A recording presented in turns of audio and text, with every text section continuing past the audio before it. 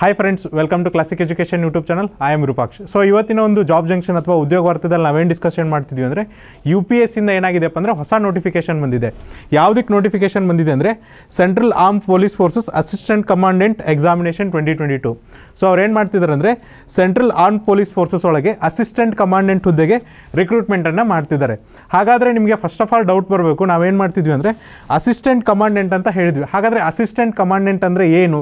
ಅವ್ರ ರೋಲ್ ಏನು, ಅವ್ರ ರೆಸ್ಪಾನ್ಸಿಬಿಲಿಟಿ ಅಂದರೆ ಏನು, ಆಮೇಲೆ ಅವ್ರ ಪೊಸಿಷನ್ ಹೇಗಿರುತ್ತೆ, ಅವರೇನು ಐ ಎ ಎಸ್ ಅಧಿಕಾರಿಗಳ ಥರ ಜಾಸ್ತಿ ಲೆವೆಲ್ಗೆ ಇರ್ತಾರ ಅಥವಾ ಪಿ ಎಸ್ ಐ ಅವ್ರ ಥರ ಇರ್ತಾರ?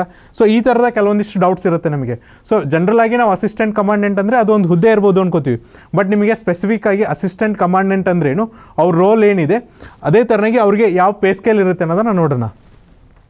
ಫಸ್ಟ್ ನೋಡ್ರಿ ಅಸಿಸ್ಟೆಂಟ್ ಕಮಾಂಡೆಂಟ್ ಅಂದರೆ ಯಾರಪ್ಪ ಅಂದರೆ the rank of assistant commandant is equivalent to the rank of assistant commissioner of police deputy superintendent of police and captain in the Indian army so ನೋಡ್ರಿ, ಇದೇನು assistant commandant ಇದೆಯಲ್ಲ, ಇದು ಯಾರಿಗೆ ಸಮಪ್ಪ ಅಂದರೆ ಅಸಿಸ್ಟೆಂಟ್ ಕಮಿಷನರ್ ಆಫ್ ಪೊಲೀಸ್ಗೆ ಸಮ ಆಗುತ್ತೆ. ಅಥವಾ deputy superintendent of police so ಇವಾಗ ಒಂದು ಡಿಸ್ಟಿಕ್ಕಿಗೆ ಒಬ್ರು ಎಸ್ ಪಿ ಇರ್ತಾರಲ್ಲ ಸೂಪರ್ಡೆಂಟ್ ಆಫ್ ಪೊಲೀಸ್ ಅದಕ್ಕಿಂತ ಕಮ್ಮಿ. ಡೆಪ್ಯೂಟಿ ಸೂಪರ್ಡೆಂಟ್ ಆಫ್ ಪೊಲೀಸ್ ಅಥವಾ ಅಸಿಸ್ಟೆಂಟ್ ಕಮಿಷನರ್ ಆಫ್ ಪೊಲೀಸ್ ಅವ್ರಿಗೆ ಸಮನಾಗಿರುತ್ತೆ. ಬಿಟ್ಟರೆ ನೀವು ಇಂಡಿಯನ್ ಆರ್ಮಿಲಿ ನೋಡೋದಾದರೆ ಕ್ಯಾಪ್ಟನ್ ಇಂದ ಇಂಡಿಯನ್ ಆರ್ಮಿ ಸೊ ನೋಡ್ರಿ ಇಂಡಿಯನ್ ಆರ್ಮಿಲಿ ಇವ್ರ ರ್ಯಾಂಕ್ ಏನಿರುತ್ತಪ್ಪ ಅಂದರೆ ಕ್ಯಾಪ್ಟನ್ ರ್ಯಾಂಕ್ ಇರುತ್ತೆ. ಅಂದರೆ ಈ ಹುದ್ದೆ ಏನಿದೆಯಲ್ಲ ಗ್ರೂಪ್ ಎ ಗ್ಯಾಜೆಟೆಡ್ ಜಾಬ್ಸ್ ಇದೆ. ಸೊ ನೋಡ್ರಿ, ಈ ಹುದ್ದೆ ಬಂದುಬಿಟ್ಟು ಏನಪ್ಪ ಅಂದರೆ group A gazetted officers rank so ನೋಡ್ರಿ, ಇದು ಏನಪ್ಪ ಅಂದರೆ ವೆರಿ ಇಂಪಾರ್ಟೆಂಟ್ ಹುದ್ದೆ. ಯಾಕಂದರೆ ಯು ಪಿ ಎಸ್ ಸಿಲಿ ನಿಮಗೆ ಸಿವಿಲ್ ಸರ್ವಿಸ್ ಎಕ್ಸಾಮಿನೇಷನ್ ಆದಮೇಲೆ ಹೈಯೆಸ್ಟ್ ಪೇಡ್ ಇರುವಂಥ ಎಕ್ಸಾಮಿನೇಷನ್ ಯಾವುದಪ್ಪ ಅಂದರೆ ಅಸಿಸ್ಟೆಂಟ್ ಕಮಾಂಡೆಂಟ್ ಯಾಕಂದರೆ ಡೈರೆಕ್ಟ್ ಪೊಸಿಷನ್ ನಿಮ್ಗೆ ಏನು ಕೊಡ್ತಾರೆ ಅಂದರೆ assistant of assistant commissioner of police ಅಥವಾ ಡೆಪ್ಯೂಟಿ ಸೂಪರ್ಡೆಂಟ್ ಆಫ್ ಪೊಲೀಸ್ ಅಥವಾ ಕ್ಯಾಪ್ಟನ್ ಆಫ್ ಇಂಡಿಯನ್ ಆರ್ಮಿ ಈ ಥರದ ರ್ಯಾಂಕಿಂದ ನಿಮಗೆ ಜಾಬ್ ಕೊಡೋದ್ರಿಂದ ವೆರಿ ಇಂಪಾರ್ಟೆಂಟ್ ಜಾಬ್ ಸೊ ನೋಡಿರಿ, ನೀವೇನಾದರೂ ಈ ಎಕ್ಸಾಮಿಗೆ ಪ್ರಿಪ್ರೇಷನ್ ಆಗ್ತಿದ್ರೆ ನಿಮ್ಗೆ ಅಟ್ಲೀಸ್ಟ್ ಗೊತ್ತಿರಬೇಕು ಅಸಿಸ್ಟೆಂಟ್ ಕಮಾಂಡೆಂಟ್ ಅಂದರೆ ಏನು, ಅಂದರೆ ಅವ್ರ ರೋಲ್ ಆ್ಯಂಡ್ ರೆಸ್ಪಾನ್ಸಿಬಿಲಿಟಿ ಯಾವ ಥರ ಇರುತ್ತೆ ಅಂತ. ನೆಕ್ಸ್ಟ್ ನೋಡ್ರಿ ಹಾಗಾದರೆ ಇವ್ರ ಕೆಲಸ ಏನಿರುತ್ತೆ? ಈಗ ಅವ್ರ ರ್ಯಾಂಕ್ ನೋಡಿದ್ವಿ, ಯಾರಿಗೆ ಸಮನಾಗಿರುತ್ತಂತೆ ಹಾಗಾದರೆ ಇವ್ರ ಕೆಲಸ ಏನಿರುತ್ತೆ ಅಂತ ನೋಡೋದಾದರೆ assistant commandants are mandated to command companies and direct action teams in various C A P F and law enforcement agencies so ಇವ್ರೇನು ಮಾಡ್ಬೇಕಂದ್ರೆ ಕಂಪ್ನೀಸ್ ಅಂತ ಇರುತ್ತೆ. ಸೊ ಒಂದು ನೂರು ಜನದ್ದು, ಒಂದು ನೂರೈವತ್ತು ಜನದ್ದು ಅಥವಾ ಐನೂರು ಜನದ ಈ ಥರದ್ದು ಕಂಪ್ನೀಸ್ ಇರುತ್ತೆ. ಅವ್ರಿಗೆ ಏನು ಮಾಡೋದಪ್ಪ ಅಂದರೆ, ಏನು ನಿಮ್ಮ ಆ್ಯಕ್ಷನ್ ಪ್ಲಾನ್ಸ್ ಇದೆ? ಅಂದರೆ ನೀವು ಏನು ಕಾರ್ಯವಿಧಾನ ಮಾಡ್ತಿದ್ದೀರಾ? ಜೊತೆಗೆ ನೀವು ಯಾವ ಥರ ಕೆಲಸ ಮಾಡಬೇಕು? ಅದ್ರ ಬಗ್ಗೆ ಏನು ಮಾಡೋದಪ್ಪ ಅಂದ್ರೆ ಇವರು ಕಮಾಂಡ್ ಮಾಡೋದಂದರೆ ಹೇಳೋದು. ಜೊತೆಗೆ they are also sent on a deputation to serve in various important organisation such as Ra N S G S P G N I A I B C B I N D R F S P G in state arm police forces and Indian army on deputation so ನೋಡ್ರಿ ಇವ್ರದ್ದು ಇನ್ನೂ ಒಂದು big advantage ಏನಪ್ಪ ಅಂದರೆ ಇವ್ರನ್ನ deputation base ಮೇಲೆ ಕಳಿಸ್ತಾರೆ. ಯಾವ್ಯಾವ ಏಜೆನ್ಸಿಗೆ ವರ್ಕ್ ಮಾಡೋಕ್ಕೆ ಕಳಿಸ್ತಾರೆ ಅಂದರೆ first Ra research and analysis wing N S G national security guard special protection group N I A national investigation agency I B intelligence bureau central bureau of investigation national disaster response force narcotics control bureau ಇದರೊಳಗೆ ಕಳಿಸ್ತಾರೆ. So ನೋಡ್ರಿ ಭಾಳ ಜನ ಯೂತ್ಸಿಗೆ ಏನಿರುತ್ತೆ ಗೊತ್ತಾ? ಅವರೊಂದು video ನೋಡಿದ ತಕ್ಷಣ ನಾನು ಈ ಥರ ಆಫೀಸರ್ ಆಗಬೇಕು ಅಂತ ಇರುತ್ತೆ. ಬಟ್ ಅವ್ರಿಗೆ ಪರ್ಟಿಕ್ಯುಲರ್ ಆಗಿ ಆ ವಿ ಹುದ್ದೆನ ಯಾವ ಥರ ಪಡ್ಕೋಬೇಕು ಅನ್ನೋದು ಗೊತ್ತಿರಲ್ಲ. ಸೊ ನಿಮಗೆ ಆ ಥರದ ಕೆಲವೊಂದಿಷ್ಟು ಆಸೆಗಳಿದ್ದರೆ ನಿಮ್ಗೆ ಏನಾದರೂ ರಾ ಜಾಯ್ನ್ ಆಗಬೇಕು ಐ ಬಿ ಜಾಯ್ನ್ ಆಗಬೇಕು ಸಿ ಬಿ ಐ ಜಾಯ್ನ್ ಆಗಬೇಕಂದ್ರೆ ನೀವು ಅಸಿಸ್ಟೆಂಟ್ ಕಮಾಂಡೆಂಟ್ ಎಕ್ಸಾಮ್ನ ಬರೀರಿ. ಸೊ ಒಂದ್ಸರಿ ಅಸಿಸ್ಟೆಂಟ್ ಕಮಾಂಡೆಂಟ್ ಆದಮೇಲೆ ನಿಮಗೆ ಡೆಪ್ಯುಟೇಷನ್ ಬೇಸ್ ಮೇಲೆ ಈ ಎಲ್ಲ ಏಜೆನ್ಸಿಗೆ ಏನು ಮಾಡ್ತಾರಪ್ಪ ಅಂದರೆ ಕಳಿಸ್ತಾರೆ. ಜೊತೆಗೆ ಏನಂದರೆ ಇಂಡಿಯನ್ ಆರ್ಮಿ ಕೂಡ ಕಳಿಸ್ತಾರೆ. ಕೆಲವೊಬ್ರಿಗೆ ಏನಂದರೆ ನಾನು ಪರ್ಟಿಕ್ಯುಲರ್ ಆಗಿ ಇಂಡಿಯನ್ ಆರ್ಮಿ ಹೋಗಬೇಕು ಅಂತ ಇರ್ತೀರ. ಸೊ ಅವರು ಆಗಿರಲಿಲ್ಲ ಅಂದರೆ ಇದು ಒಂದು ಏನಪ್ಪ ಅಂದರೆ ಅವ್ರಿಗೆ ಚಾನ್ಸು ಸೊ ನೀವು ಡೈರೆಕ್ಟಾಗಿ ಎಂಟ್ರಿ ಆಗಲಿಲ್ಲ ಅಂದರೂ ಇಂಡೈರೆಕ್ಟಾಗಿ ಎಂಟ್ರಿಲಿ ಆಗ್ಬೋದಾಗಿದೆ. ನೆಕ್ಸ್ಟ್ ನೋಡ್ರಿ. ನಾವೇನು ಮಾಡೋಣ? ಇಂಪಾರ್ಟೆಂಟ್ ಡೇಟ್ಸ್ ನೋಡೋಣ. ಹಾಗಾದರೆ ಅಪ್ಲಿಕೇಶನ್ ಸ್ಟಾರ್ಟ್ ಆಗಿದೆ ಅಂದರೆ ಅಪ್ಲಿಕೇಶನ್ ಆನ್ಲೈನ್ ಅಪ್ಲಿಕೇಶನ್ ಆವಾಗಲೇ ಸ್ಟಾರ್ಟ್ ಆಗಿದೆ. ಅದು ಯಾವಾಗ ಎಂಡ್ ಆಗುತ್ತಪ್ಪ ಅಂದರೆ ಹತ್ತನೇ ಮೇ ಎರಡು ಸಾವಿರದ ಇಪ್ಪತ್ತೆರಡಕ್ಕೆ ಎಂಡ್ ಆಗುತ್ತೆ. ಅದು ಕೂಡ ನೋಡಿರಿ ಸಾಯಂಕಾಲ ಆರು ಗಂಟೆವರೆಗೆ. ನೆಕ್ಸ್ಟ್ ಇದಾದಮೇಲೆ ಆನ್ಲೈನ್ ಅಪ್ಲಿಕೇಶನ್ನ ನೀವು ವಿಡ್ರಾ ಮಾಡೋದಿದ್ರೆ ಯಾವಾಗಿಂದ ವಿಡ್ರಾ ಮಾಡ್ಕೋಬೇಕಪ್ಪ ಅಂದರೆ ಹದಿನೇಳನೇ ಮೇ ಎರಡು ಸಾವಿರದ ಇಪ್ಪತ್ತೆರಡರಿಂದ ಇಪ್ಪತ್ತ್ಮೂರನೇ ಮೇ ಎರಡು ಸಾವಿರದ ಇಪ್ಪತ್ತೆರಡರೊಳಗೆ ನೀವೇನಂದರೆ ವಿಡ್ರಾ ಮಾಡ್ಕೋಬೇಕು. ಜೊತೆಗೆ ನೋಡಿರಿ, ಇದಕ್ಕೆ ಕಾಂಪಿಟೇಷನ್ ಎಕ್ಸಾಮ್ ಯಾವಾಗಿರುತ್ತೆ ಅಂದರೆ ಇಪ್ಪತ್ತು ಏಳನೇ ಆಗಸ್ಟ್ ಎರಡು ಸಾವಿರದ ಇಪ್ಪತ್ತೆರಡಕ್ಕೆ. ಸೊ ನೋಡಿರಿ ಕಾಂಪಿಟೇಷನ್ ಎಗ್ ಎಕ್ಸಾಮಿನೇಷನ್ ಯಾವಾಗಿರುತ್ತೆ ಅಥವಾ ಸ್ಪರ್ಧಾತ್ಮಕ ಪರೀಕ್ಷೆ ಯಾವಾಗಿರುತ್ತೆ ಅಂದರೆ ಆಗಸ್ಟ್ ಏಳನೇ ತಾರೀಕು ಇರ್ತದೆ. ನೆಕ್ಸ್ಟ್ ನೋಡೋದಾದರೆ ಎಷ್ಟು ವೇಕೆನ್ಸೀಸ್ ಇದೆ ನೋಡಿರಿ. ಬಿ ಎಸ್ ಎಫ್ನಲ್ಲಿ ನಿಮಗೆ ಅರವತ್ತಾರು ವೇಕೆನ್ಸೀಸ್ ಇದೆ. ಸಿ ಆರ್ ಪಿ ಎಫ್ನಲ್ಲಿ ನಿಮಗೆ ಇಪ್ಪತ್ತೊಂಬತ್ತು ವೇಕೆನ್ಸೀಸ್ ಇದೆ. ಸಿ ಐ ಎಸ್ ಎಫ್ನಲ್ಲಿ ನಿಮಗೆ ಅರವತ್ತೆರಡು ವೇಕೆನ್ಸೀಸ್ ಇದೆ. ಐ ಟಿ ಬಿ ಪಿನಲ್ಲಿ ನಿಮಗೆ ಹದಿನಾಲ್ಕು ವೇಕೆನ್ಸೀಸ್ ಇದೆ. ಎಸ್ ಎಸ್ ಬಿ ಸಶಸ್ತ್ರ ಸೀಮಾಬಲದಲ್ಲಿ ನಿಮಗೆ ಎಂಬತ್ತೆರಡು ವೇಕೆನ್ಸೀಸ್ ಇದೆ. ಟೋಟಲಾಗಿ ಎಷ್ಟು ವೇಕೆನ್ಸೀಸ್ ಇದೆಯಪ್ಪ ಅಂದರೆ ಎರಡು ನೂರ ಐವತ್ತ್ಮೂರು ವೇಕೆನ್ಸೀಸ್ ಇದೆ. ಜೊತೆಗೆ ನೋಡಿರಿ, ಯಾವ ಥರ ಅಪ್ಲೈ ಮಾಡಬೇಕಂದ್ರೆ ಇದೊಂದು ಆನ್ಲೈನ್ ಅಪ್ಲಿಕೇಶನ್ ಆಗಿದ್ದು, ನೀವೇನಪ್ಪ ಅಂದರೆ ಯು ಪಿ ಎಸ್ ಸಿದ ಆನ್ಲೈನ್ ಅಫಿಷಿಯಲ್ ವೆಬ್ಸೈಟ್ ಆದಂಥ W W dot U P S C online dot N I C dot in ಇದ್ರ ಮೂಲಕ ನೀವು ಅಪ್ಲಿಕೇಶನ್ನ ಹಾಕಬೇಕಾಗುತ್ತೆ. ಸೊ ನಿಮಗೆ ಅಪ್ಲಿಕೇಶನ್ ಹಾಕ್ಬೇಕಾದ್ರೆ ಅವ್ರು ಏನಂದರೆ ಡೀಟೇಲ್ ಇನ್ಸ್ಟ್ರಕ್ಷನ್ ಯಾವ್ಯಾವ ಥರ ನೀವು ಅಪ್ಲಿಕೇಶನ್ನ ತುಂಬಬೇಕು, ಅರ್ಜಿಯನ್ನು ಹಾಕಬೇಕು ಅನ್ನೋದನ್ನು ಅವರು ಅಬೋ ಮೆನ್ಷನ್ ವೆಬ್ಸೈಟ್ ಅಂದರೆ U P S C official ವೆಬ್ಸೈಟಲ್ಲೇ ಹೇಳಿದ್ದಾರೆ. ಸೊ ನೋಡಿರಿ ಅಪ್ಲಿಕೇಶನ್ ಹಾಕೋಕ್ಕಿಂತ ಮುಂಚೆ, ಅರ್ಜಿಯನ್ನು ಹಾಕೋಕ್ಕಿಂತ ಮುಂಚೆ ನೀವೇನು ಮಾಡಿರಪ್ಪ ಅಂದರೆ ಒಂದ್ಸರಿ ಇನ್ಸ್ಟ್ರಕ್ಷನ್ ಏನಿದೆ ಅದನ್ನು ನೀಟಾಗಿ ಓದ್ಕೊಂಬಿಡ್ರಿ ಕೆಲವೊಂದು ಟೈಮ್ ಏನು ಮಾಡಿರ್ತಾರೆ ಅಂದರೆ ಫೋಟೋನ ಏನಪ್ಪ ಅಂದರೆ ರೀಸೆಂಟ್ ಟು ಟು ತ್ರೀ ಮಂತ್ಸಿಂದ ಕೊಡ್ರಿ ಅಂತ ಹೇಳಿರ್ತಾರೆ. ಬಟ್ ನಾವೇನು ಮಾಡಿರ್ತೀವಿ ಅಂದರೆ ಓದಿರಲ್ಲ. ಹಾಗಾಗಿ ನಾವೇನು ಮಾಡ್ಬೇಕಂದ್ರೆ ಅಪ್ಲಿಕೇಶನ್ ಹಾಕೋಕ್ಕಿಂತ ಮುಂಚೆ ಒಂದ್ಸರಿ ಆಗಿ ಏನು ಕೇಳಿದ್ದಾರೆ ಅನ್ನೋದ್ರ ಓದ್ಕೊಳ್ಳೋದು ಒಳ್ಳೆಯದು ನೆಕ್ಸ್ಟ್ ನೋಡ್ರಿ ಏಜ್ ಲಿಮಿಟ್ ಎಷ್ಟಿದೆ ಅಂದರೆ A candidate must have attended the age of 20 years and must not have attended the age of 25 years on 1st August 2022. That is, he or she must have been born not earlier than 2nd August 1997 and not later than 1st August 2002. So ನೋಡ್ರಿ, ಇಲ್ಲಿ ಏನಾಗಿರುತ್ತಂದ್ರೆ ಒಬ್ಬ ಅಭ್ಯರ್ಥಿಯ ವಯೋಮಿತಿ ಏನಿದೆಯಪ್ಪ ಅಂದರೆ, ಅವನಿಗೆ ಇಪ್ಪತ್ತು ವರ್ಷ ಆಗಿರಬೇಕು, ಇಪ್ಪತ್ತೈದು ವರ್ಷ ಆಗಿರಬಾರ್ದು. ಯಾವ ಕಟ್ ಆಫ್ ಡೇಟ್ ಹೇಳಿದಾರಪ್ಪ ಅಂದರೆ ಇದಕ್ಕೆ, ಒಂದನೇ ಆಗಸ್ಟ್ ಎರಡು ಸಾವಿರದ ಇಪ್ಪತ್ತೆರಡು ಇದ್ರದ್ದು ಕಟ್ ಆಫ್ ಡೇಟ್ ಇದೆ. ಸೊ ಪರ್ಟಿಕ್ಯುಲರ್ಲಿ ನಿಮಗೆ ಇದನ್ನು ಹೇಳಬೇಕಂದ್ರೆ, ನಿಮ್ಮ ಡೇಟ್ ಆಫ್ ಬರ್ತ್ ಏನಿರಬೇಕಪ್ಪ ಅಂದರೆ, ಜನ್ಮ ದಿನಾಂಕ ಎರಡನೇ ಆಗಸ್ಟ್ ಹತ್ತೊಂಬತ್ತು ನಂತರ ಇರಬೇಕು, ಮತ್ತು ಒಂದನೇ ಆಗಸ್ಟ್ ಎರಡು ಸಾವಿರದ ಎರಡರೊಳಗೆ ಇರಬೇಕು.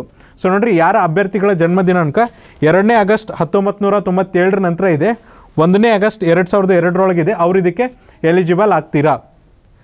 ನೆಕ್ಸ್ಟ್ ನೋಡಿರಿ, ಇದ್ರ ಜೊತೆಗೆ ಏನಪ್ಪ ಅಂದರೆ ಕೆಲವೊಂದು ಕ್ಯಾಟಗರೀಸ್ಗೆ ರಿಲ್ಯಾಕ್ಸೇಷನ್ ಕೊಟ್ಟಿದ್ದಾರೆ. ಸೊ ನೀವೇನಾದರೂ ಎಸ್ ಸಿ, ಎಸ್ ಟಿ ಅಭ್ಯರ್ಥಿಗಳಾಗಿದ್ದರೆ ನಿಮಗೆ ಐದು ವರ್ಷ ವಯೋಮಿತಿ ರಿಲ್ಯಾಕ್ಸೇಷನ್ ಇದೆ. ಅಂದರೆ ಅಪ್ಪರ್ ಏಜ್ ರಿಲ್ಯಾಕ್ಸೇಷನ್ ಇದೆ.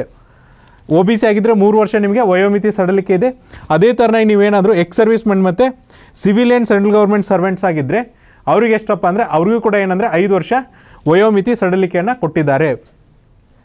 ನೆಕ್ಸ್ಟ್ ನೋಡ್ರಿ ಎಜುಕೇಷನ್ ಕ್ವಾಲಿಫಿಕೇಷನ್ ಏನಿದೆ ಅಂದರೆ ನೀವು ಜಸ್ಟ್ ಒಂದು ಡಿಗ್ರಿ ಮಾಡಿದರೆ ಸಾಕು ಇದಕ್ಕೆ ಎಲಿಜಿಬಲ್ ಆಗ್ತೀರಾ ಸೊ ಅವ್ರೇನು ಹೇಳ್ತಾರೆ ನೋಡ್ರಿ a candidate must hold a bachelor's degree of a university incorporated by an act of central or state legislature in India or other educational institution established by an act of parliament are declared to be deemed as university under the section 3 of university grants commission act 1956 or possess an equivalent qualification so ಏನಂದರೆ ನೀವು just ಒಂದು ಪದವೀಧರರಾಗಿದ್ದರೆ ಸಾಕು, ಈ ಹುದ್ದೆಗೆ eligible ಆಗ್ತೀರಾ? ಅಥವಾ ಪದವೀಧರರಾಗಿರ್ಬೋದು ಅಥವಾ ತತ್ಸಮಾನ ವಿದ್ಯಾರ್ಹತೆ ಕೂಡ ಹೊಂದಿದ್ರೂ ಸಾಕು, ಈ ಹುದ್ದೆಗೆ ನೀವು ಎಲಿಜಿಬಲ್ ಆಗ್ತೀರಾ?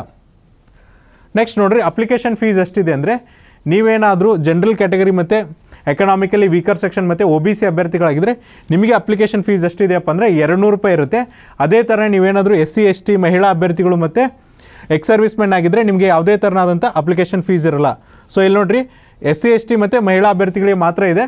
ಎಕ್ಸ್ ಸರ್ವಿಸ್ ಮೆನ್ ಆದವ್ರು ಕೂಡ ನೀವೇನಂದರೆ ಅಪ್ಲಿಕೇಶನ್ ಫೀಸ್ನ ತುಂಬಬೇಕು. ಸೊ ಯಾರಿಗೆ ಫೀಸ್ ಎಕ್ಸಾಮ್ಷನ್ ಇದೆ ಅಂದರೆ ಮಹಿಳಾ ಅಭ್ಯರ್ಥಿಗಳು ಮತ್ತು ಎಸ್ ಸಿ ಎಸ್ ಟಿ ಕ್ಯಾಂಡಿಡೇಟ್ಗೆ ಯಾವುದೇ ಥರನಾದಂಥ ಅಪ್ಲಿಕೇಶನ್ ಫೀಸ್ ಇರಲ್ಲ. ಸೊ ನೀವು ಅಪ್ಲಿಕೇಶನ್ ಫೀಸ್ನ ಯಾವ ಥರ ತುಂಬೋದು ಅಂದರೆ ಆನ್ಲೈನ್ ಮೂಲಕನೂ ತುಂಬೋದು ಆಫ್ಲೈನ್ ಮೂಲಕನೂ ತುಂಬೋದು. ಆನ್ಲೈನ್ ಮೂಲಕ ತುಂಬ್ತೀನಿ ಅಂದರೆ ನೀವೇನು ಮಾಡಬೇಕಂದ್ರೆ U P I net banking credit card debit card RuPay card use ಮಾಡ್ಕೊಂಡು ತುಂಬೋದು. ಆಫ್ಲೈನ್ ಮೂಲಕ ತುಂಬ್ತೀನಿ ಅಂದರೆ ನೀವೇನು ಮಾಡಬೇಕಂದ್ರೆ ಪೇ ಬೈ ಕ್ಯಾಶ್ ಅಂತೇಳಿ ಅಲ್ಲಿ ನೀವೇನು ಮಾಡಬೇಕಂದ್ರೆ ಎಸ್ ಬಿ ಐ ಚಾನಲ್ನ ಡೌನ್ಲೋಡ್ ಮಾಡ್ಕೋಬೇಕು. ಆ ಚಾನಲ್ ಡೌನ್ಲೋಡ್ ಮಾಡಿಕೊಂಡು ನೆಕ್ಸ್ಟ್ ಡೇ ಸೊ ಇವತ್ತು ನೀವು ಚಾನಲ್ ಡೌನ್ಲೋಡ್ ಆಗಿದೆ ಅಂದರೆ ನೆಕ್ಸ್ಟ್ ಡೇನೇ ಹೋಗಿ ನೀವೇನಂದರೆ ಅಪ್ಲಿಕೇಶನ್ ಫೀಸ್ನ ತುಂಬಬೇಕಾಗುತ್ತೆ ಸೊ ನೆನ್ಪಿಟ್ಕೋರಿ, ಯಾರು ಆಫ್ಲೈನ್ ಪೇಮೆಂಟ್ ಮಾಡ್ತಿರಲ್ಲ, ಒಂದ್ಸರಿ ನಿಮ್ಮದು S B I channel download ಆದಮೇಲೆ ಇಮಿಡಿಯೇಟ್ ನೆಕ್ಸ್ಟ್ ಡೇ ಒಳಗೆ ನೀವೇನಂದರೆ ಅಪ್ಲಿಕೇಶನ್ ಫೀಸ್ನ ತುಂಬಬೇಕಾಗುತ್ತೆ ನೆಕ್ಸ್ಟ್ ನೋಡಿರಿ ಸೆಲೆಕ್ಷನ್ ಪ್ರೊಸೀಜರ್ ಯಾವ ಥರ ಇರುತ್ತಂದರೆ ನಿಮಗೊಂದು ರಿಟರ್ನ್ ಎಕ್ಸಾಮಿನೇಷನ್ ಇರುತ್ತೆ. ರಿಟರ್ನ್ ಎಕ್ಸಾಮಿನೇಷನ್ ಆದಮೇಲೆ ನಿಮ್ಗೆ ಏನು ಮಾಡ್ತಾರಪ್ಪ ಅಂದರೆ ಫಿಸಿಕಲ್ ಸ್ಟ್ಯಾಂಡರ್ಡ್ ಟೆಸ್ಟ್ ಇರುತ್ತೆ, ಆದಮೇಲೆ ಫಿಸಿಕಲ್ ಎಫಿಷಿಯನ್ಸಿ ಟೆಸ್ಟ್ ಇರುತ್ತೆ, ಅದಾದಮೇಲೆ ಇಂಟರ್ವ್ಯೂ ಇರುತ್ತೆ, ಆಮೇಲೆ ನಿಮ್ಗೆ ಏನು ಮಾಡ್ತಾರೆ ಅಂದರೆ ಸೆಲೆಕ್ಷನನ್ನು ಮಾಡ್ತಾರೆ. ಹಾಗಾದರೆ ಫಸ್ಟು ನಿಮಗೆ ರಿಟರ್ನ್ ಎಕ್ಸಾಮಿನೇಷನ್ ಇದೆಯಲ್ಲ, ಅದು ಯಾವಾಗಿದೆಯಪ್ಪ ಅಂದರೆ ಏಳನೇ ಆಗಸ್ಟ್ ಎರಡು ಸಾವಿರದ ಇಪ್ಪತ್ತೆರಡಕ್ಕಿದೆ. ಇಲ್ಲಿ ನಿಮ್ಗೆ ಏನಂದರೆ ಎರಡು ಪೇಪರ್ ಇರುತ್ತೆ. ಸೊ ಫಸ್ಟ್ ಪೇಪರ್ ಯಾವಾಗಿರುತ್ತೆ ಅಂದರೆ ಹತ್ತು ಗಂಟೆಯಿಂದ ಹನ್ನೆರಡು ಗಂಟೆಗೆ ಇರುತ್ತೆ. ಎರಡನೇ ಪೇಪರ್ ಎರಡು ಗಂಟೆಯಿಂದ ಐದು ಗಂಟೆವರೆಗೂ ಇರ್ತದೆ. ನೆಕ್ಸ್ಟ್ ನೋಡಿರಿ, ಈ ಫಸ್ಟ್ ಪೇಪರಲ್ಲಿ ಏನಿರುತ್ತೆ ಅಂದರೆ ನಿಮಗೆ ಫಸ್ಟ್ ಪೇಪರಲ್ಲಿ ಜನರಲ್ ಅಬಿಲಿಟಿ ಆ್ಯಂಡ್ ಇಂಟೆಲಿಜೆನ್ಸ್ ಅಂತ ಇರುತ್ತೆ. ಇದು ಎರಡುನೂರ ಐವತ್ತು ಮಾರ್ಕ್ಸಿಗೆ ಇರುತ್ತೆ. ಇದೇನಿರುತ್ತಪ್ಪ ಅಂದರೆ ಅಬ್ಜೆಕ್ಟಿವ್ ಟೈಪ್ ಕ್ವಶನ್ ಪೇಪರ್ ಇರುತ್ತೆ. ಅಂದರೆ ಪೂರ್ತಿ ಮಲ್ಟಿಪಲ್ ಚಾಯ್ಸ್ ಕ್ವಶನ್ಸ್ ಇರುತ್ತೆ. ಇದಾದಮೇಲೆ ನಿಮಗೆ ಪೇಪರ್ ಟೂ ಅಲ್ಲಿ ಏನಿರುತ್ತೆ ಅಂದರೆ general studies essay comprehension ಇರುತ್ತೆ. ಇದು ಎರಡುನೂರು ಮಾರ್ಕ್ಸಿಗೆ ಇರುತ್ತೆ. ಸೊ ನೋಡಿರಿ ಪೇಪರ್ ಒನ್ ಇದೆಯಲ್ಲ, ಪೂರ್ತಿ ಏನಪ್ಪ ಅಂದರೆ objective type paper paper two ಬಂದುಬಿಟ್ಟು ನಿಮಗೆ ರೈಟಿಂಗ್ ಇರುತ್ತೆ. ಯಾಕಂದರೆ ಜನರಲ್ ಸ್ಟಡೀಸಲ್ಲಿ ಎಸ್ ಎ ಕಾಂಪ್ರಿಹೆನ್ಷನ್ ಇರುತ್ತೆ. ಇದರಲ್ಲಿ ಕೂಡ ಏನಂದರೆ ಕೆಲವೊಂದಿಷ್ಟು ಕಂಡೀಷನ್ಸ್ ಇದೆ. ಏನಪ್ಪ ಅಂದರೆ ನೀವು ಎಸ್ ಎನ್ ಏನಿದೆಯಲ್ಲ ಇಂಗ್ಲೀಷ್ ಅಥವಾ ಹಿಂದಿಲಿ ಬರಿಬೋದು. ಬಟ್ ಏನಂದರೆ ಪ್ರಿಸೈಸ್ ರೈಟಿಂಗ್ ಬರಿತಿದ್ರಿ ಅಥವಾ ಕಾಂಪ್ರಿಹೆನ್ಷನ್ ಬರಿತಿದ್ರಿ ಅಂದರೆ, ಆಮೇಲೆ ಅದರ್ ಕಮ್ಯುನಿಕೇಷನ್ ಮತ್ತು ಲ್ಯಾಂಗ್ವೇಜ್ ಸ್ಕಿಲ್ ಇದ್ದರೆ ಇದಕ್ಕೆ ಏನು ಮಾಡ್ತಾರೆ ಅಂದರೆ ಇಂಗ್ಲೀಷ್ ಭಾಷೆನ ಪ್ರಿಫರ್ ಮಾಡ್ತಾರೆ. ಅಂದರೆ ಇಂಗ್ಲೀಷ್ ಭಾಷೆ ಮ್ಯಾಂಡೇಟ್ರಿ ಇರುತ್ತೆ. ಸೊ ನೋಡಿರಿ, ಇಲ್ಲೇನಪ್ಪ ಅಂದರೆ ಎಸ್ ಎ ಮಾತ್ರ ನೀವೇನಂದರೆ ಇಂಗ್ಲೀಷಲ್ಲಾದರೂ ಬರಿಬೋದು ಹಿಂದಿಲಾದರೂ ಬರಿಬೋದು. ಬಿಟ್ಟು ಕಾಂಪ್ರಿಹೆನ್ಷನ್ ಬರಿತಿದ್ರೆ ಪ್ರಿಸೈಸ್ ಬರಿತಿದ್ರೆ ಮತ್ತು ಲ್ಯಾಂಗ್ವೇಜ್ ಸ್ಕಿಲ್ ಟೆಸ್ಟ್ ಅಂತ ಏನಾದರೂ ಇದ್ದರೆ ಅದೇನಿರುತ್ತಪ್ಪ ಅಂದರೆ, ಆಂಗ್ಲ ಮಾಧ್ಯಮದಲ್ಲಿ, ಅಂದರೆ ಇಂಗ್ಲೀಷ್ ಮೀಡಿಯಮಲ್ಲಿ ಮಾತ್ರ ಇರುತ್ತೆ. ಜೊತೆಗೆ ನೋಡ್ರಿ ಕ್ವಶನ್ ಪೇಪರ್ ನಿಮಗೆ ಇಂಗ್ಲೀಷ್ ಮತ್ತು ಹಿಂದಿಲಿ ಮಾತ್ರ ಇರುತ್ತೆ. ಸೊ ಭಾಳ ಜನಕ್ಕೆ ಡೌಟ್ ಇರುತ್ತೆ, ಸರ್, ಇದು ಕ್ವಶನ್ ಪೇಪರ್ ಏನಪ್ಪ ಅಂದರೆ ಕನ್ನಡ ಮೀಡಿಯಮಲ್ಲಿ ಇರುತ್ತಾ ಅಂದರೆ? ಇಲ್ಲ ಕ್ವಶನ್ ಪೇಪರ್ ಕನ್ನಡ ಮೀಡಿಯಮಲ್ಲಿ ಇರೋಲ್ಲ. ಕ್ವಶನ್ ಪೇಪರ್ ನಿಮಗೆ ಕೇವಲ ಎರಡು ಭಾಷೆಯಲ್ಲಿ ಮಾತ್ರ ಲಭ್ಯ ಇರುತ್ತೆ, ಒಂದು ಇಂಗ್ಲೀಷ್ ಮೀಡಿಯಮ್ ಇನ್ನೊಂದು ಹಿಂದಿ ಮೀಡಿಯಮ್ ನೆಕ್ಸ್ಟ್ ನೋಡ್ರಿ, ನಿಮಗೆ ಫಿಸಿಕಲ್ ಸ್ಟ್ಯಾಂಡರ್ಡ್ ಟೆಸ್ಟಿಗೆ ಯಾರು ಕರೀತಾರೆ ಅಂದರೆ, ಯಾರು ರಿಟರ್ನ್ ಎಕ್ಸಾಮಿನೇಷನ್ ಪಾಸ್ ಆಗ್ತಾರಲ್ಲ, ಅವ್ರಿಗೆ ಏನು ಮಾಡ್ತಾರಪ್ಪ ಅಂದರೆ ಫಿಸಿಕಲ್ ಸ್ಟ್ಯಾಂಡರ್ಡ್ ಟೆಸ್ಟ್ ಕರೀತಾರೆ. ಸೊ ಯಾರು ಫಿಸಿಕಲ್ ಸ್ಟ್ಯಾಂಡರ್ಡ್ ಪಾಸ್ ಆಗ್ತಾರಲ್ಲ, ಅವ್ರಿಗೆ ಏನು ಮಾಡ್ತಾರೆ ಅಂದರೆ ಫಿಸಿಕಲ್ ಎಫಿಷಿಯನ್ಸಿ ಟೆಸ್ಟ್ ಅಂದರೆ ದೈಹಿಕ ಸಾಮರ್ಥ್ಯ ಪರೀಕ್ಷೆ. ನಮ್ಮ ಪಿ ಎಸ್ ಐ ಎಕ್ಸಾಮಿನೇಷನಲ್ಲಿ ಕಂಡಕ್ಟ್ ಮಾಡ್ತಾರಲ್ಲ, ಆ ಥರನಾಗಿ ಇಲ್ಲಿ ಏನು ಮಾಡ್ತಾರಪ್ಪ ಅಂದರೆ ದೈಹಿಕ ಸಾಮರ್ಥ್ಯ ಪರೀಕ್ಷೆನ ಕಂಡಕ್ಟ್ ಮಾಡ್ತಾರೆ. ಫಸ್ಟ್ ನೋಡಿರಿ, ಪುರುಷ ಅಭ್ಯರ್ಥಿಗಳಿಗೆ ಮಹಿಳಾ ಅಭ್ಯರ್ಥಿಗಳಿಗೆ ಬೇರೆ ಬೇರೆ ಥರನಾದಂಥ ದೈಹಿಕ ಸಾಮರ್ಥ್ಯ ಪರೀಕ್ಷೆ ಇದೆ. ಫಸ್ಟ್ ನೂರು ಮೀಟರ್ ರೇಸ್ ಇರುತ್ತೆ. ಪುರುಷ ಅಭ್ಯರ್ಥಿಗಳು ಏನು ಮಾಡಬೇಕಂದ್ರೆ ಹದಿನಾರು ಸೆಕೆಂಡ್ಸಲ್ಲಿ ಓಡಬೇಕಾಗತ್ತೆ. ಮಹಿಳಾ ಅಭ್ಯರ್ಥಿಗಳು ಅದನ್ನು ಹನ್ನೆರಡು ಹದಿನೆಂಟು ಸೆಕೆಂಡ್ಸ್ಗಳಲ್ಲಿ ಓಡಬೇಕಾಗತ್ತೆ. ನೆಕ್ಸ್ಟ್ ಎಂಟುನೂರು ಮೀಟರ್ ರೇಸ್ ಇರುತ್ತೆ. ನೂರು ಮೀಟರ್ ರೇಸ್ ಆದಮೇಲೆ ಎಂಟುನೂರು ಮೀಟರ್ ರೇಸ್ ಕೂಡ ಇರುತ್ತೆ. ಇದನ್ನು ಪುರುಷ ಅಭ್ಯರ್ಥಿಗಳು ಏನು ಮಾಡಬೇಕಂದ್ರೆ, ಮೂರು ನಿಮಿಷ ನಲ್ವತ್ತೈದು ಸೆಕೆಂಡ್ಸಲ್ಲಿ ಓಡಬೇಕಾಗುತ್ತೆ. ಅದನ್ನು ಮಹಿಳಾ ಅಭ್ಯರ್ಥಿಗಳು ನಾಲ್ಕು ನಿಮಿಷ ನಲ್ವತ್ತೈದು ಸೆಕೆಂಡ್ಸಲ್ಲಿ ಓಡಬೇಕಾಗುತ್ತೆ. ಅಂದರೆ ಒಂದು ನಿಮಿಷ ಜಾಸ್ತಿ ಟೈಮ್ ಕೊಡ್ತಾರೆ. ಇದಾದಮೇಲೆ ನೋಡ್ರಿ ಲಾಂಗ್ ಜಂಪ್ ಇರುತ್ತೆ. ನಿಮಗೆ ಮೂರುವರೆ ಮೀಟ್ರ್ ಜಿಗಿಬೇಕು ಎಷ್ಟು ಚಾನ್ಸ್ ಇರುತ್ತೆ ಅಂದರೆ ಮೂರು ಚಾನ್ಸಸ್ ಇರುತ್ತೆ. ಮಹಿಳಾ ಅಭ್ಯರ್ಥಿಗಳಿಗೆ ಮೂರು ಮೀಟ್ರ್ ಜಿಗಿಬೇಕು ಮೂರು ಚಾನ್ಸಲ್ಲಿ ಇದಾದಮೇಲೆ ಏನಪ್ಪ ಅಂದರೆ ಶಾರ್ಟ್ ಪುಟ್ ಇರುತ್ತೆ. ಅದು ಪುರುಷ ಅಭ್ಯರ್ಥಿಗಳಿಗೆ ಮಾತ್ರ. ಎಷ್ಟು ಕೆ ಜಿದು ಇರುತ್ತೆ ಅಂದರೆ seven point two six K Gs ಇರುತ್ತೆ. ಅದನ್ನು ನೀವು ಎಷ್ಟು ದೂರ ಒಗಿಬೇಕಪ್ಪ ಅಂದರೆ ಫೋರ್ ಪಾಯಿಂಟ್ ಫೈವ್ ಮೀಟರ್ಸ್ನ ಒಗಿಬೇಕಾಗುತ್ತೆ. ಇಲ್ಲಿ ಕೂಡ ನಿಮ್ಗೆ ಏನಂದರೆ ಮೂರು ಚಾನ್ಸಸ್ ಇರುತ್ತೆ. ಸೊ ಇದೇನಂದರೆ ಫಿಸಿಕಲ್ ಎಫಿಷಿಯನ್ಸಿ ಟೆಸ್ಟ್ ದೈಹಿಕ ಸಾಮರ್ಥ್ಯ ಪರೀಕ್ಷೆ. ಸೊ ಯಾರು ಫಿಸಿಕಲ್ ಎಫಿಷಿಯನ್ಸಿ ಟೆಸ್ಟ್ ಪಾಸ್ ಆಗ್ತಾರಲ್ಲ, ಅವ್ರಿಗೆ ಏನು ಮಾಡ್ತಾರೆ ಅಂದರೆ ಇಂಟರ್ವ್ಯೂ ಕರೀತಾರೆ. ಈ ಇಂಟರ್ವ್ಯೂನ ಯಾರು ಕಂಡಕ್ಟ್ ಮಾಡ್ತಾರಪ್ಪ ಅಂದರೆ ಯೂನಿಯನ್ ಪಬ್ಲಿಕ್ ಸರ್ವಿಸ್ ಕಮಿಷನ್ ಅಂದರೆ ಯು ಪಿ ಎಸ್ ಸಿ ಅವರು ಕಂಡಕ್ಟ್ ಮಾಡ್ತಾರೆ. ಸೊ ನೋಡಿರಿ ಇಂಟರ್ವ್ಯೂ ಮತ್ತು ಪರ್ಸನಾಲಿಟಿ ಟೆಸ್ಟ್ ಏನು ಮಾರ್ಕ್ಸ್ ಇರುತ್ತಪ್ಪ ಅಂದರೆ ಇಲ್ಲಿ ನೂರ ಐವತ್ತು ಮಾರ್ಕ್ಸ್ ಇರ್ತದೆ. ಸೊ ಇದಾದ್ಮೇಲೆ ನಿಮ್ಗೆ ಏನಪ್ಪ ಅಂದರೆ ಅಫಿಷಿಯಲ್ ವೆಬ್ಸೈಟ್ ನಿಮಗೆ ಈ ರಿಕ್ರೂಟ್ಮೆಂಟಲ್ಲಿ ಏನಾದರೂ ಡೌಟ್ ಇದ್ದರೆ ಅವ್ರ ಅಫಿಷಿಯಲ್ ವೆಬ್ಸೈಟ್ ಆದಂಥ H T T P S colon slash slash U P S C online dot N I C dot ಇನ್ಗೆ visit ಮಾಡಿರಿ. ಅಲ್ಲಿ ನಿಮ್ಗೆ ಏನಂದರೆ ಡೀಟೇಲ್ಡ್ ಅಫಿಷಿಯಲ್ ನೋಟಿಫಿಕೇಶನ್ ಸಿಗುತ್ತೆ. ಅಲ್ಲಿ ನಿಮ್ಮ ಡೌಟ್ನ ಕ್ಲಾರಿಫೈ ಮಾಡ್ಕೊರಿ. ನೆಕ್ಸ್ಟ್ ಉದ್ಯೋಗ ವಾರ್ತೆ ವಿಡಿಯೋದಲ್ಲಿ ಇನ್ನೊಂದು ರಿಕ್ರೂಟ್ಮೆಂಟ್ನ ಡಿಸ್ಕಸ್ ಮಾಡೋಣ. ಅಲ್ಲಿವರೆಗೂ ನೋಡ್ತಾ ಇರಿ Classic Education YouTube channel thank you